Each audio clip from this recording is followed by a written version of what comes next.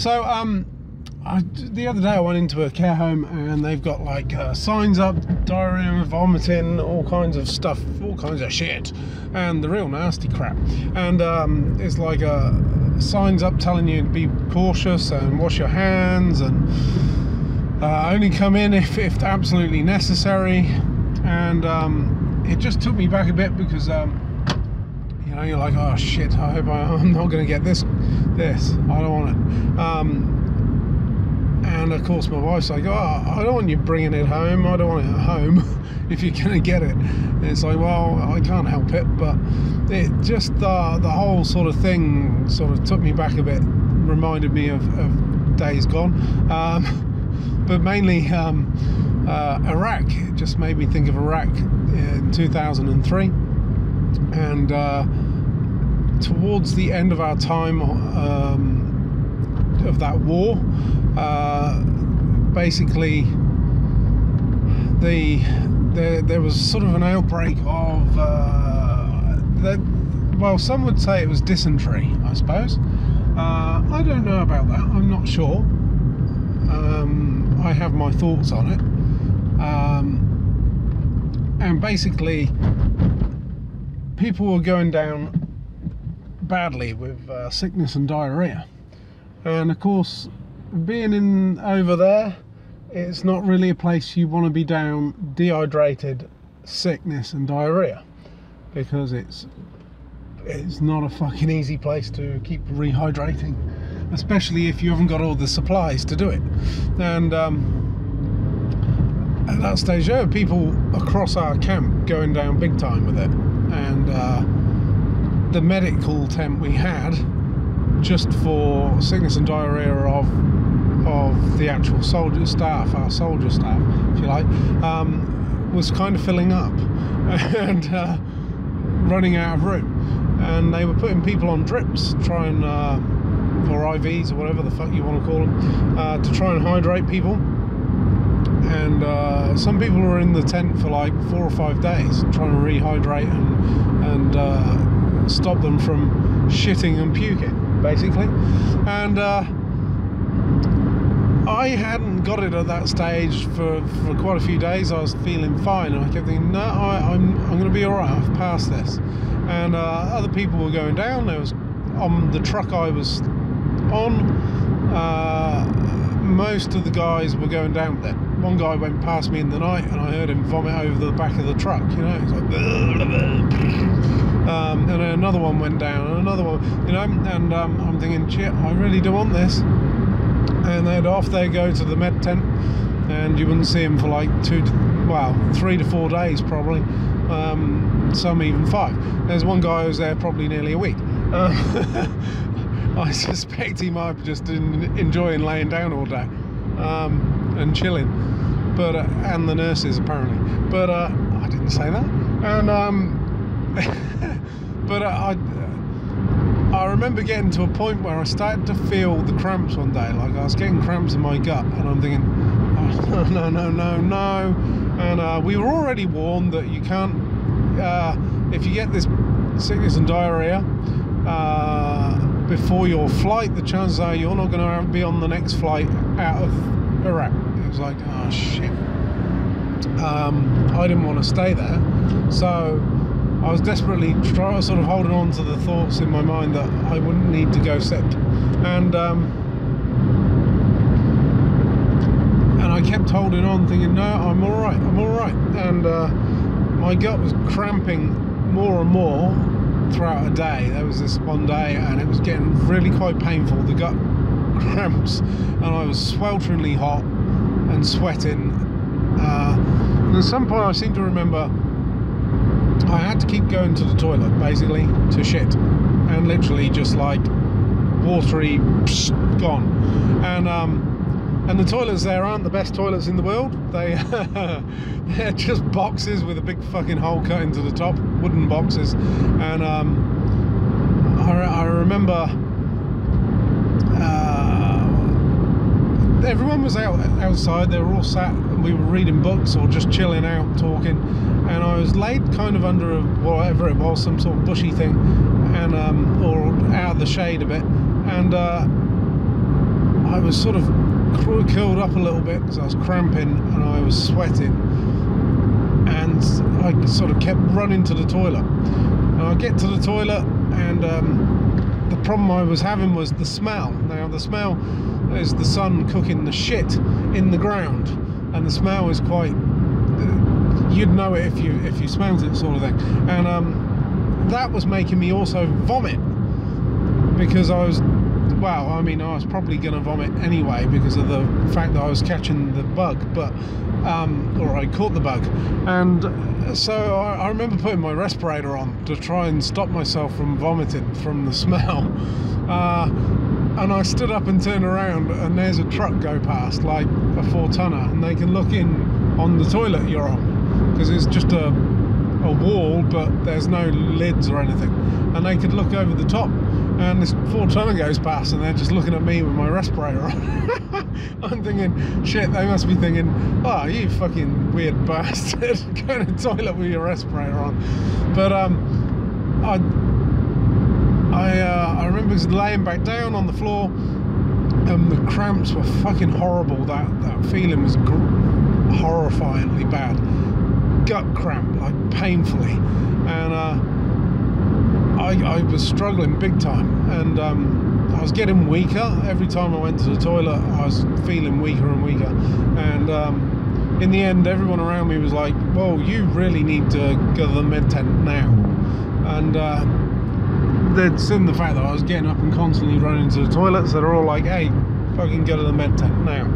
So I got up and I start walking towards. Now, bear in mind, a few days before we'd watched people like just drop to the floor and vomit and, and shit themselves at the same time. Uh, I remember we were stood uh, around at one point and we watched, uh, and one of the young nurses, little blonde nurse, uh, literally, I mean, I couldn't see her properly. She's behind, uh, sort of half behind something at the time, but you could see like her head and walking past, and she uh, literally just dropped to the floor, and um, like someone had just run up and smashed her in the stomach, and apparently she just puked and crapped like same time gone. And um, this was going through my mind obviously. I'm thinking I don't want to shit myself. I don't, not just walking not nice. And um, i was just walking towards the main uh, tent and um, I literally just like it was like someone run up and punched me in the gut, like absolutely agonising pain in my gut, and I just hit the floor and vomited everywhere. And uh, a couple of a couple of the other guys come over, and um, one picked up my rifle, two of them picked me under the arms and scooped me up, and were like, right, get him into the into the tent. And they take me into the med tent and um, they're like well we've got no more room for any more soldiers in here. And it's like what? They're like we've run out of beds. Um, we've got no room. They're like put him in the in the vehicle take him to uh, the nearest medical station so they throw put me well don't throw me they put me in the back of a Land Rover and they drive me and I just laid in the back of this Land Rover like oh, I feel fucked I was really bad I, I had had enough like my energy was gone I was dehydrated and I was just knackered. And they took me to a medical centre and I remember getting out. I don't know where I was, I don't know how long I'd travelled for. I get out and go into this sort of sandy looking coloured building. Uh, it'd be, uh, I don't know, sandstone, I suppose, whatever the fuck they use over in Iraq. And I go in and it's dusty as fuck, uh, no windows, and to the left of me, I look down and it is a room I don't know, say about 30 feet long maybe, and there are just lined up stretchers all along the floors and soldiers all over the place, uh, half dressed, and they're just laid there. Some had IVs, some didn't, and they're just laid there. It looked like something out of fucking World War II fucking movie uh, of just injured soldiers, you know, and they're all just laid there in this dusty, dark room. And they put me on this slab. I'll call it slab because I don't know what else to call it table thing. And there's I could see the sunlight coming through what was kind of a window and the dust you know shining in this the light. And there's fucking all kinds of medical equipment out. And this guy comes over the nurse and he's like uh, right, you're going to have to take this tablet and this tablet, and here's um, a bottle of water. And I'm like, I, I can't hold anything in. It's just literally coming back up. Every time I drop some water in my mouth, it's either coming up or going out the other way. And um, he's like, well, you've got to just keep drinking, mate. So here's your tablets. And I'm like, you not got an IV? And he's like, we have no IVs. We've run out. So you either drink or you die. So start drinking. And he's like, fuck.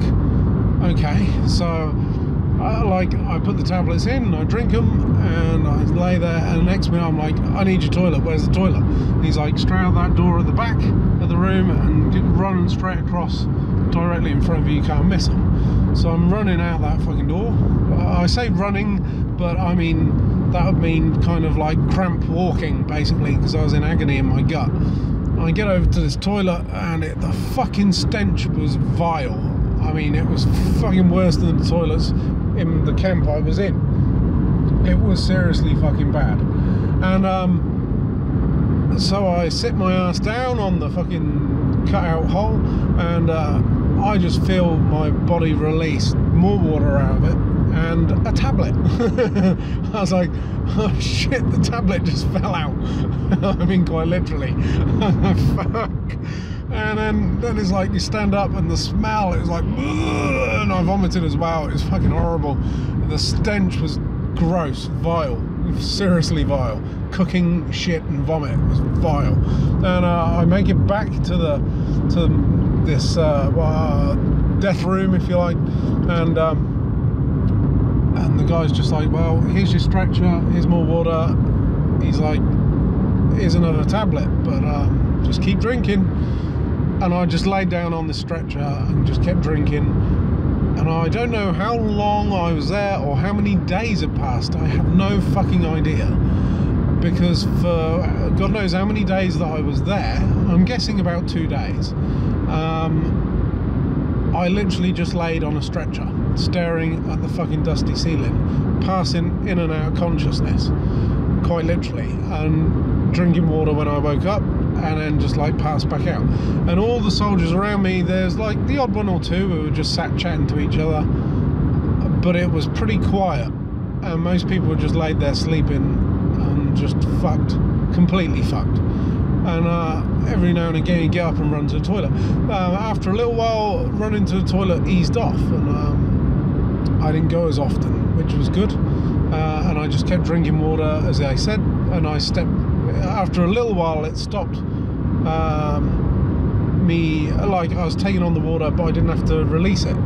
Um, it wasn't coming up or going out. So by rehydrating myself just constant drip uh, uh, constant drinking water seemed to be easing the issue. And um, it, at some stage, I, I, did, I just remember looking around me, and it's just like it was like something out of a fucking war movie, you know. There's all these fucking soldiers laid there looking half dead, quite literally on these stretchers on the floor, and there's dust everywhere, and every whenever a sandstorm come in, it was fucking the room was just a fucking barely see anything because of the dust. Uh, soldiers were coming in and going, and nurses walking around just checking on people and it was fucking quite horrible, really. And um, and as I say, I, I, just kept passing in and out of consciousness. I was sweating. I had the same clothes on. I hadn't changed out of them, even though I'd been vomiting in them. But I guess I was all right. I had nothing with me. I had no. All I had was, all they had was my rifle, and uh, and I had my respirator, and that was it. I had nothing else. I was just laid there, completely monged out, and. Uh, at some point now I'm guessing it was a couple of days I don't know. Um, my sergeant major I remember walks into the room and um, him talking to the nurse and he's like he's got to come with me now. We're, we're leaving. We're moving on. And um, they were like well he's better. He's not he's not going to the toilet every five seconds but you know he probably needs a few days. But it was like no he's fucking coming now. And uh, so I, up I got, and I fucking got into the back of a Land Rover with my sergeant major, and off we drove. And I, it was, I, it's hard to remember very well, but I, I was so fucking thankful that he turned up. I was just like, I'm so happy to have got out of there. It was fucking horribly numbing in there, and it was so nice to get see a familiar face and be like, right, you're going, because I knew no one else in there. It was just fucking random soldiers, knew no one, and uh, I was so happy to be leaving. I was probably about three stone lighter, uh, barely any muscle, but I was that I might not have had that to begin with, but. Um, man, it was fucking horrible situation to have been in, and um, felt fucking evil to be there. But uh, such a weird experience, um, such a strange experience. Uh, I certainly one I won't fucking forget because it was so fucking bizarre, and and just remembering running to the toilets and whatever I drank was just like coming out of me and looking at all these soldiers who had exactly the same issue and they all looked half dead and I must have looked exactly the same. And and that room and the smell of it and, and just the dust, it was fucking pretty fucking horrible. So um, I certainly won't ever forget that. It was. But luckily I, I got back and um, it was like, right, we're getting on the trucks. We're going to, uh, I can't remember where we went. We went to like Basra, some university or something, or school, and sat in uh, Basra fucking I don't know. I think it was a school. We waited inside a, uh, a gym there or whatever it was, or the school hall, until our flight came in to take us out there. So um, that that was a fucking blessing, trust me. Um, but I think I just monged out for like several days before this flight. So um, because I was so fucked from from just not rehydrating quick enough, I um I just had to lay drinking uh, slowly, very fucking slowly. So, um, whereas other people getting IVs and being rehydrated fantastically automatically, I was having to wake up, drink a bit, and then pass out. Wake up, drink a bit, pass out. Um, which obviously was a slower rate uh, uh, rehydrating. So it was fucking horrible. Put it that way.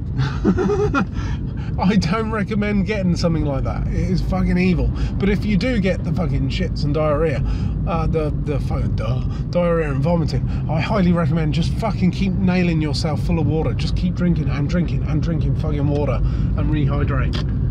Um, it, it will help.